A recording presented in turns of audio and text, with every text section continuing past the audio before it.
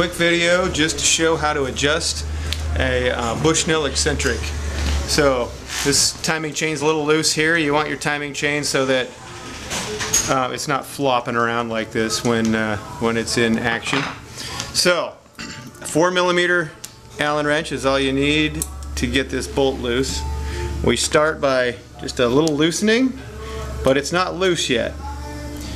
You then go back in here and loosen, loosen, loosen. Keep going until it feels like it's tightening back up.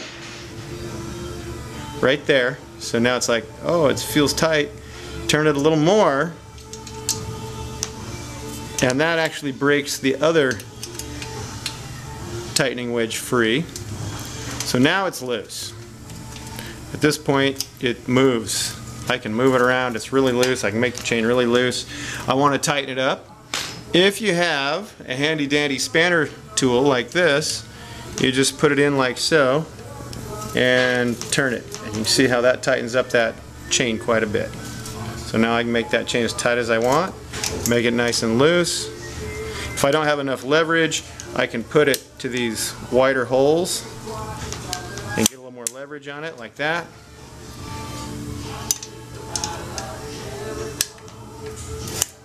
So now it's loose again.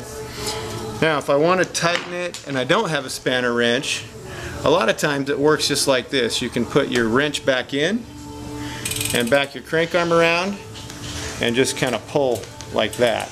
So in a pinch this works fine.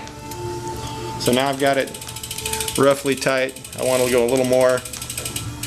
So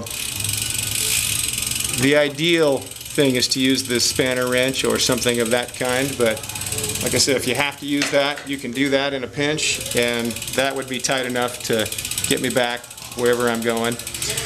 But I'm going to go ahead and put the spanner wrench in since I'm tightening this one for, for good. I'm going to use the medium holes there. I'm going to just like so.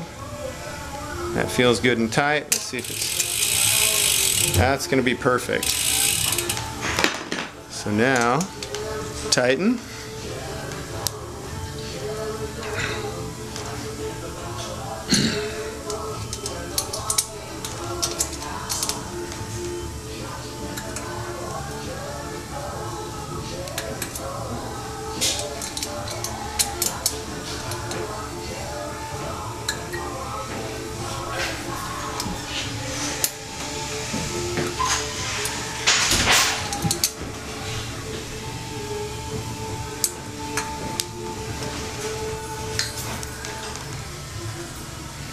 And that will do it.